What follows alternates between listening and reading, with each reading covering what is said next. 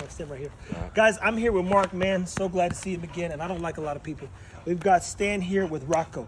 If ever you've liked X-Men, you know when they come in and say you're a level 9, you're a level 10 mutant. This is a level 9, level 10 mutant.